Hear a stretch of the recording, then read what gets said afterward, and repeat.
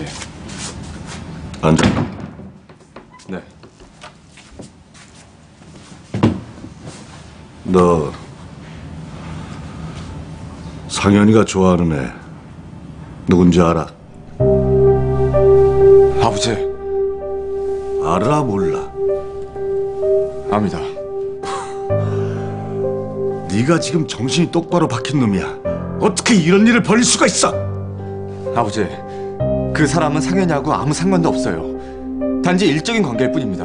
왜 아무 상관이 없어? 상현이가 그 아이를 좋아하고 있다잖아. 그건 상현이의 일방적인 마음일 뿐이에요. 상현이가 그 사람을 좋아한다고 왜 제가 그 사람을 포기해야 합니까? 너 지금 말이라고 해 그거를 어? 누가 먼저고 상관없이 상현이하고 얽혀 있는 아이라면은 당장 그만뒀어야지.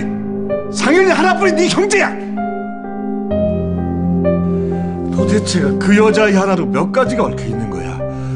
수임이에서부터 상현이까지 네 인생뿐 아니라 우리 집안까지 아주 쑥대밭으로 만들려고 작정을 한 거야.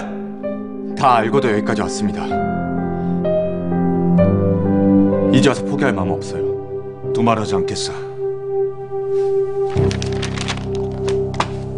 열어봐.